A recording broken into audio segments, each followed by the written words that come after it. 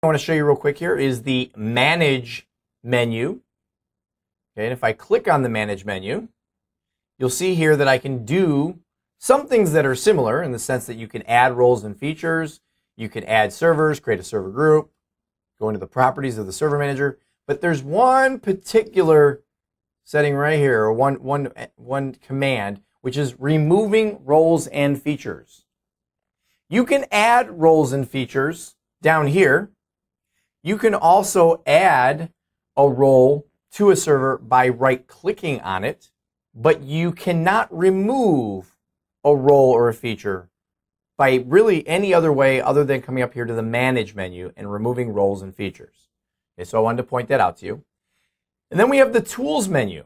If I click on that, you will see what looks like, and it basically is, what was formerly the administrative tools menu that we used to find in the start menu.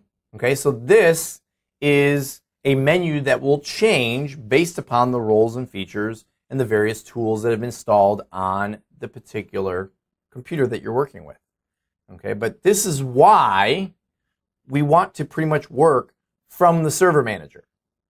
Okay, and the reason is because unlike before, where maybe we would click on start and then dig our way through into an administrative tools menu to go ahead and get into some specific tool. Well, now we have the tools menu straight here from the server manager. So that's pretty much it. We've done it. We have installed and at least done the initial setup of a Windows Server 2012 computer.